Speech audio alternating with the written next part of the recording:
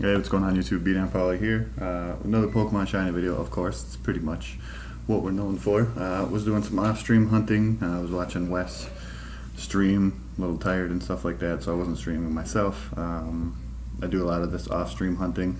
There's a lot of off-stream hunts in uh, the next compilation video that's coming up, so like I said, haven't really heard too much feedback from positive or negative or anything like that, um, but just a little different thing, especially with fish chaining, because it's tough with the delay, so I can do it off stream. Anyway, um, there is our shiny Luvdisc that we caught. I got three shinies on this little trip, so uh, they'll be uploaded over the next couple days or so. But just wanted to get one on here. Uh, everybody loves Luvdisc, you know.